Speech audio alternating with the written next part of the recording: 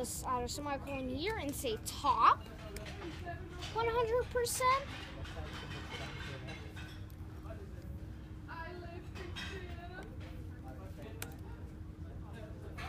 Ooh, it's all the way over there. Oh, oh, it.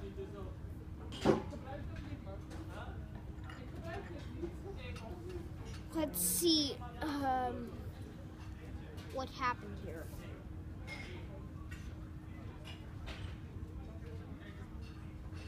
Let's see position fixed and see what happens. I think that will solve the problem.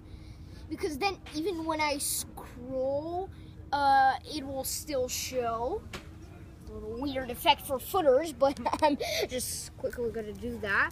Position fixed. That that's even more uh, that's kind of even more removed from the natural flow of the page. And it's so much that it's even fixed. Oh, now it's even gone. Yeah, I didn't see it either. Where's your button? Now it's gone. that that's not a button, that's a footer. A footer. I even don't see it. Maybe it's thinking that its position is relative instead of absolute. Um, so let's quickly set that to absolute again.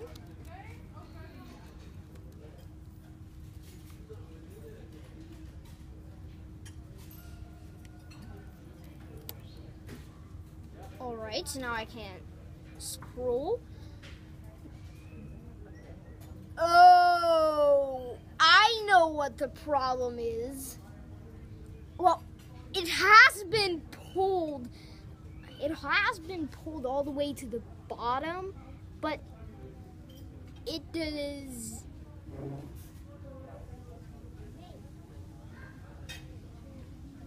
It has been pulled all the way to the bottom, but it, but not the bottom is moved to the bottom. The top has been moved to the bottom. So I, so then I have to use transform, um,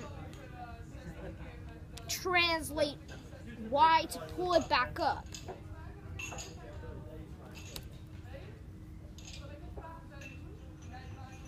And then let me just reset the reset this. Now uh, I don't have a lot of room left.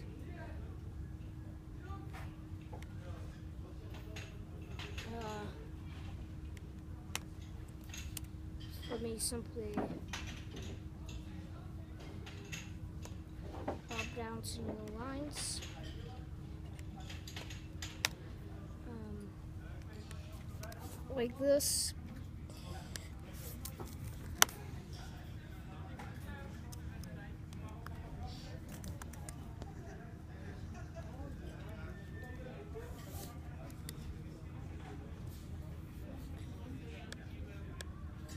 Send, uh, so I'll also put spaces in between those. Because the CSS was like minified. Let's say transform. And I'm going to say translate Y. Translate and transform translate Y.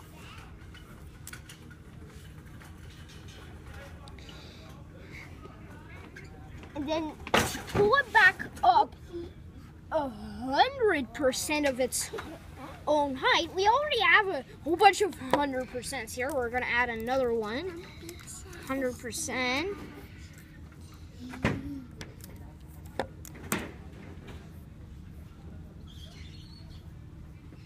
It's still gone.